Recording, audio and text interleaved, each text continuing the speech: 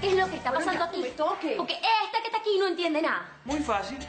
Mi sirenita creo que no está votada. Porque resulta que este pana que está aquí es tu nuevo jefe. ¿Qué tal? ¿De qué está hablando? Oye, la verdad es que no entiendo. Pues muy simple, primita. Yo le acabo de vender las acciones a Eduardo. Efraín se encargó de todo. ¿Y, y Juan Andrés sabe eso? ¿Qué dice Juan Andrés de todo esto? ¿Qué, qué- Bueno, eh, el punto, primita, el punto es que cuando Andrés me dejó un poder donde me confiere el derecho de negociar sus acciones. Mira, y te lo advierto, primita, porque tú podrás quedarte con mi marido, mi amor. Pero él es un hombre que prácticamente está en la ruina gracias a mí. A mí. Sí, sí, sí, a ti. Porque fuiste tú quien acabó con su sueño de hombre exitoso. A nivel de negocio y a nivel familiar también. No sabe lo que está hablando. Chico, mira. Y lamentable, ¿no? Él se buscó por haberse fijado en una persona como tú. Bueno, ahora que se atenga a las consecuencias.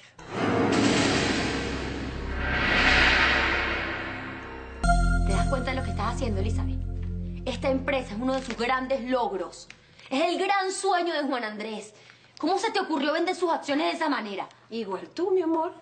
A ti tampoco te tembló la cadera para quitarme lo más importante de mi vida, Juan Andrés. Entonces véngate de mí. No la agarres con él, él no tiene la culpa. ¿Cómo es posible que tú, su propia esposa, le destruyas su proyecto de vida? Ya, ya, ya, ya, cállate, sí, ya basta.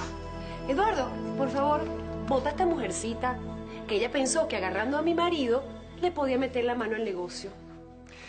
Discúlpame, Elizabeth, lo que pasa es que yo no sigo órdenes de nadie, y mucho menos de un antiguo dueño. Te recuerdo que yo firmé la opción a compra y además entrego un dinero. No, ya va, Eduardo, perdóname tú a mí. Discúlpame, yo no te estoy dando una orden, yo te estoy dando una sugerencia. Esta mujercita, en vez de trabajar, lo que hace es enamorar a todos los hombres casados. Ya, Elizabeth, cállate la boca, ¿sí? Cállate, eso no es Bueno, cierto. bueno, tranquila. Mira, mira, mi amor, para tu tranquilidad yo hago los negocios con la cabeza y no suelo escuchar consejos no solicitados. Así que, Sayoa, tú te quedas aquí en la agencia. Devuélveme la vida que te llevaste un día. Devuélveme la risa. Yo trabajo para Juan Andrés Gutiérrez. Y la campaña que estamos haciendo sobre Margarita es otro de sus sueños. Así que si él ya no está en esta agencia, esta que está aquí se va. Señores, yo estoy con Sayoa. Somos todos o ninguno. Así que nada, Pero bueno, yo también renuncio. pero ¿qué es lo que pasa? Yo no entiendo. Bueno, bueno, ahí, ahí te lo dejo. Ve a ver qué haces ahora con tu empleada. ¿Qué? ¿Nos vamos? Sí, sí, Efraín, por favor, llévame de vuelta al resort. Va. Está bien, pues. Bueno, nada. No tengo más nada que hacer aquí. Yo, yo me voy. No, no, no, no, ya vas, yo. Yo necesito explicarte algo, necesito decirte algo muy importante. Y luego, entonces tú tomas tu propia decisión y haces lo que quieras. Escúchame. Porfa, yo. e- Escúchame. Pa para un ratico atención, siéntate, por favor. Anda, Catira, escúchame. Yo quiero que tú sepas que Efraín, Efraín me dejó bien claro que yo solo estaba adquiriendo un lote de acciones, solo eso. Pero que Juan Andrés se iba a quedar con una parte. Ahora sí me entiendes. Por suerte, Elizabeth no pudo disponer de todo lo de él. Porque su hermano y su papá también tienen acciones. Sí, bueno, se ve que sabe bien a qué atenerse con esa cuaima. Bueno, él me dijo cuando se fue de viaje que los dejaba protegidos si les pasaba algo, pues. Ah, pero entonces, yo no veo cuál es el problema. Que yo no voy a seguir aquí hasta que no hable con Juan Andrés. ¿Entiendes? Y se puede saber por qué no. Porque me convertiría en la cómplice de algo tan feo y bajo que le está haciendo su propia esposa. Y esto sí que yo no sería capaz de hacérselo a Juan Andrés. ¿Entiendes? Ahora que te escucho hablar, Sayoga, me doy cuenta que Efraín y Elizabeth lo que querían era, era utilizarme para, para hacerte daño a ti. Qué raro. No, mi Perli. Uy, rarísimo, mi chava. Porque es que mi primo me quiere tanto a mí. Bueno, sea como sea, o te quería hacer daño a ti o a Juan Andrés. Pero lo importante de todo esto es que yo ahora sí lo entiendo todo. Qué bueno. Qué bueno que lo entiendes. Y, y- y ten cuidadito con lo que entiendes, ¿sabes? Porque yo estoy cansada que todo el mundo mirando que soy una roba marido. Eso no, eso no, Castilla. Yo te conozco muy bien. Yo sé que tú eres una mujer transparente. Tú no sabes mentir. Por supuesto que te creo. Gracias. Pero, pero lo importante, lo importante de todo esto, lo que yo quiero que tú sepas, es que yo en ningún momento de mi vida, te lo juro, que yo, que yo quería hacerte ningún tipo de daño. Y, y- y es por eso que también quiero pedirte que, que, bueno, que en nombre de los viejos tiempos, de, de nuestra amistad, te quedes. No sé. No sé, yo, yo, yo pienso que lo mejor es que no. Pero por favor, Katira, yo no sé nada de publicidad, quédate, no me abandones, por favor, quédate aquí conmigo. No sé, no sé. Yo, yo, yo tengo que pensarlo, sí. Vamos a hacer una cosa. Quédate con Cheva. Quédate con él. Yo, yo necesito agarrar algo, ¿sabes?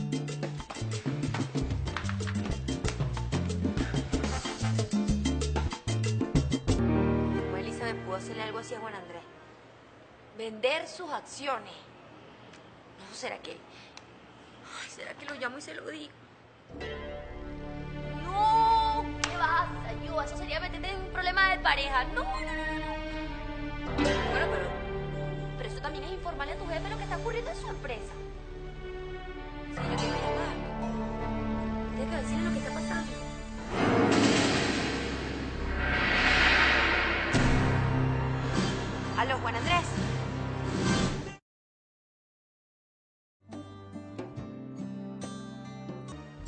Juan Andrés, ¿eres tú? No, no, no, no, no es Juan Andrés, es su papá. ¿Cómo está, don Rigoberto? Le habla a yo a Mujica, ¿se acuerda de mí? Ah, pues claro que me acuerdo de usted. Usted es la muchacha alta, buena moza, de pelo largo, que trabaja con Juan Andrés. Mire, Juan Andrés se encuentra por ahí. No, Juan Andrés se está bañando, pero lo que usted quiera decírselo, yo se lo digo, deje el mensaje. Yo necesito que usted le diga a Juan Andrés que se comunique conmigo urgentemente. Que en la agencia están pasando cosas. Cosas un poco raras y yo necesito contárselo, ¿sí? Por favor, no se le olvide. Necesito hablar con él, que me llame apenas, apenas, apenas pueda. ¿Cómo no, Saioa? Yo se lo digo. Mucho gusto.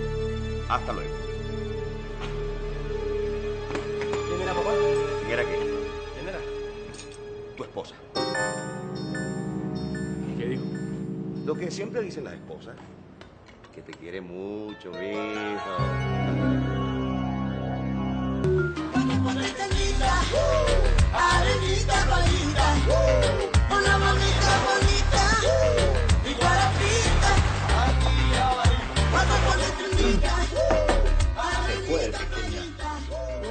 Uh, el show pequeño. Pasa. Mire, Sella, me vine porque quería disculparme contigo por no ir a la agencia. Es que no sé si te dijeron que estaba en el restaurante, entonces eso estaba full y tú sabes la corredera, la tendera, los clientes, todo lo demás. Entonces, Tranquilo, no te voy a regañar. Yo estoy enteradita de todo, ¿viste? menos mal. Ay, ¿sabes, Cisco? Hoy vi al exorcista. ¿A quién? Al exorcista. Elizabeth, pues. Estaba con Efraín. Y se puso como una loca, como un demonio, a caerme a grito decirme un poco de cosas. Qué raro, ¿no? Ah, bueno, pero tú lo que tienes que hacer, mira, reír y aplaudir. No tienes que pararle. O si le hiciste caso. No. Yo siento que no vale la pena. Mira, Francisco, yo quería decirte que, bueno, que he decidido dejar la agencia de publicidad.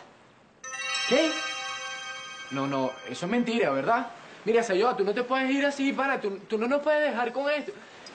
Pana, por favor, quédate por lo menos a que llegue Juancho, sí, no nos dejes así. Por favor.